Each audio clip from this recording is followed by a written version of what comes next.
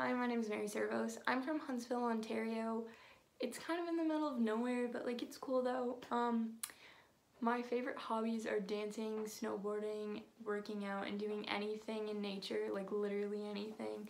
Um, I also really like art. Uh, this is my third year at the VLC. Um, and yes, you can see me in live classes. I think it's pretty important to pay attention to math.